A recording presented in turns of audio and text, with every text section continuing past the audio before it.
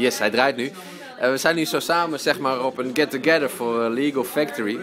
En uh, jij vertelt net, voor mij, het opent voor mij wel een wereld rondom de B2B, uh, het pad zeg maar, wat je afloopt. Om iemand te over, overhalen of eigenlijk te, te om wellicht zaken met je te doen of met jou in zee te gaan. En je had het ABC-model daarvoor.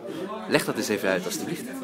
Je hebt het model is inderdaad een ABC-model. Ja. Dus in een gesprek met een klant ja. uh, heb je het argument, eigenlijk A. Weet, dus A. Ja. Waarom, waarom, zit, waarom zit je met een potentiële klant aan tafel? Welke koopsignaal of welke behoefte heeft hij? Ja. Dat moet je uitvragen. Heel veel mensen worstelen met verkoop met ik heb wat te vertellen en ik heb een dienst of een product wat ik graag wil leveren. Maar je moet eigenlijk veel meer vragen stellen. Argumenten verzamelen, eieren in je mandje verzamelen. Waardoor je later in het gesprek een deal kan sluiten. Dat is de A.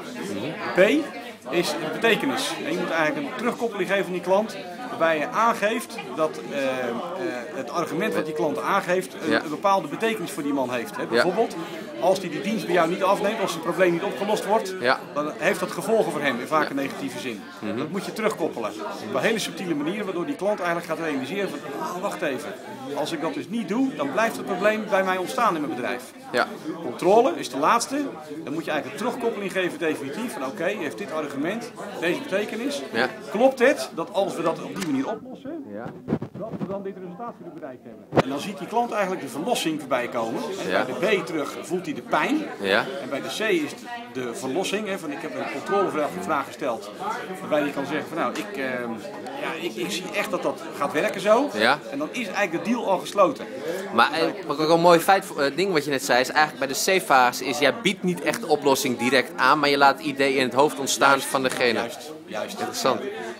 Hoe, hoe was het voor jou als jonge ondernemer in de B2B-markt om daarachter te komen? Was het moeilijk? Uh, ja, dat is wel lastig.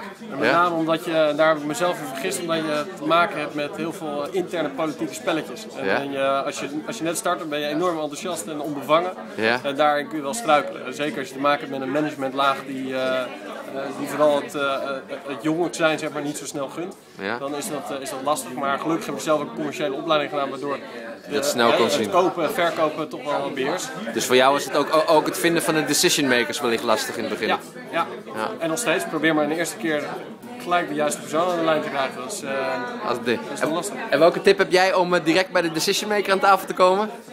Uh, ja, dat is gewoon een kwestie van uh, bot bellen naar de klant. Dus even ik iets heel speciaals, ik wil graag aan u uitleggen. Ja. En dan maak je hem heel nieuwsgierig. Ja. Dan moet je gewoon een hele leuke spelmethode enthousiast moeten zeggen van joh, even vijf minuten van uw tijd. Wanneer kan ik bij u langskomen? Boom. Tof, dank je. Dank je. Leuk. Zoveel trucjes.